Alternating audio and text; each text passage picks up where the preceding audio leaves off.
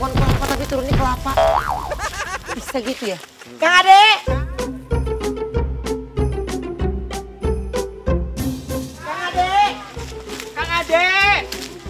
Aduh, ke mana? Iya Ben, di sini. Ini. Lah, kok bisa di atas? Ya, Kang, dicari-cariin ternyata ada di atas. Kenapa ada di atas sih, Kang? Ini ada layangan. Ada layangan. Iya, buat anak ini lumayan. Hah? Ini Kang Ade bisa manjat sendiri gini? Iya. Para survivor, ternyata Kang Ade ada di atas pohon. Dia akan membawa layang-layang milik anaknya yang tersangkut di atas pohon. Ih, ngeri banget deh ngelihatnya. Nah, Ya. hati-hati ya katanya.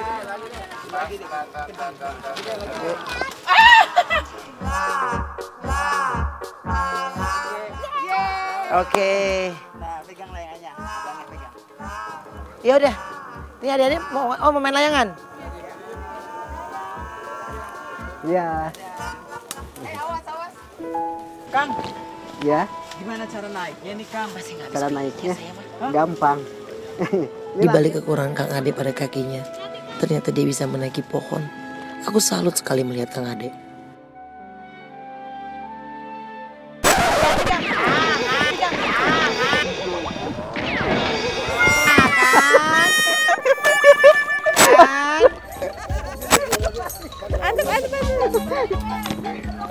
Aduh. Bibi jadi gak enak sama Kang Ade kan? Kang Ade nggak apa-apa? Ya enggak ini.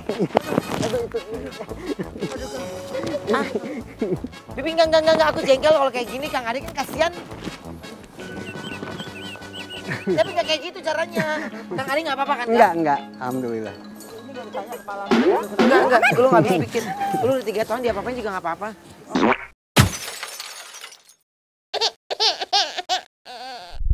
Kang, mau Ya. lihat pencak silat ini kan? Ya, Lewat mana Kang? lewat sini bisa.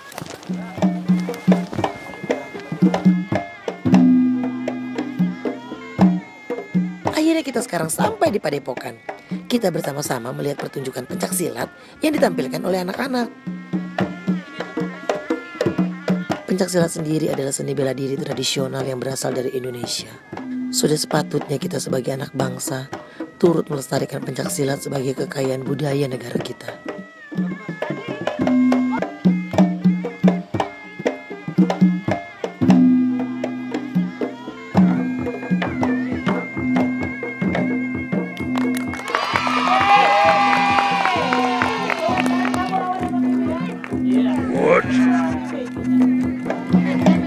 Yuhu, sekarang Bibi akan melawan anak kecil bermain pencak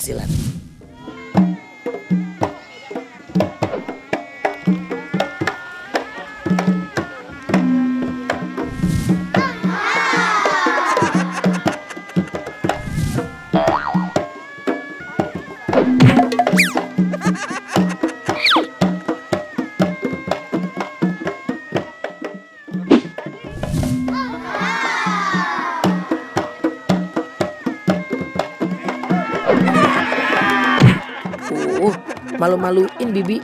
Masa kalah sama anak kecil?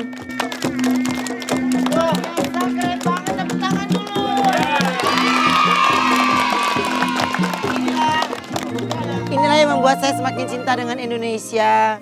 Dan apalagi ini dari Jawa Barat keren banget luar biasa. Eh, Kang Ade boleh ke sini bersama sang istri. Dan yang pasti kalau saya boleh tahu ini apa namanya ini? Pangkuyuban. dan yang nonoman pajajaran Oke. Dan Dan yang yang Nonoman Nonoman Pajajaran. Pajajaran. Saya doakan mudah-mudahan semakin banyak lagi muridnya.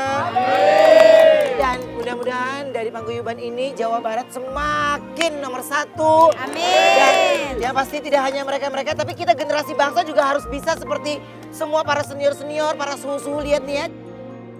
Ben, saya ada buat kenang-kenangan. Kenang-kenangan. Maksudnya? Pikir dibawain rambutan. Sebagai kenang-kenangan, aku dan Bibi dipasangkan ikat kepala khas Jawa Barat.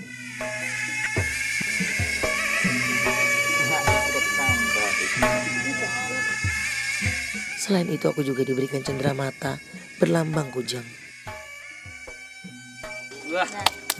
Terima kasih, Kak. Terima kasih. Ini ke asisten saya dapat nggak? Dapat. Oh iya dapat. Gua apa doi?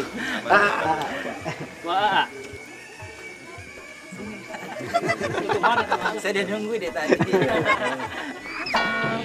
Coba gini. Gini, gini, gini. Iya. Oh, jangan kenceng-kenceng, Pak.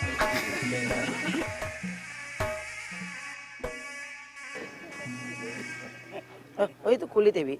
Iya, iya.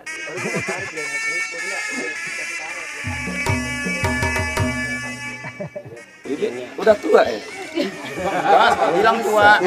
Bapak kok belum bilang saya tua, saya masih muda kali. Kulitnya udah tua. Ih, Bibi heboh banget deh. Belum apa-apa udah teriak-teriak segala. Bapak juga sih. Kalau pakai ikat harus Kayaknya nggak kenapa-napa bajunya jaraknya jauh.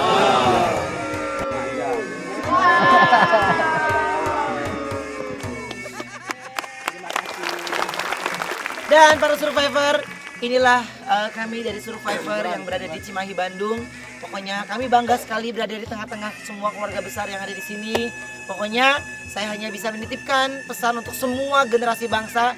Budaya bangsa Indonesia harus kita yang menjaganya. Kalau bukan kita, siapa lagi? Dan akhirnya saya Ruben Onsu, Bibi Noni, dan tim Survivor dari Bandung. Hanya di Survivor, let's get lost!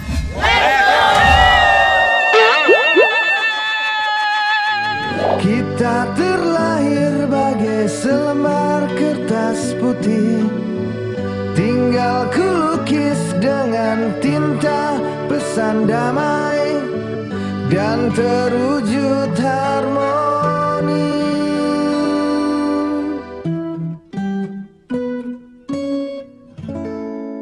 Inilah potret kebahagiaan dari keluarga Kang Ade. Di balik keterbatasan yang dimilikinya, Kang Ade selalu bersyukur kepada Tuhan telah diberikan keluarga kecil yang menyayanginya dengan setulus hati. Mereka lah yang menjadi kekuatan dan penyemangat hidup Kang Ade. Semoga Kang Ade dan keluarga selalu diberikan karunia oleh Tuhan Yang Maha Kuasa. Amin. Percaya kan berujung indah Kau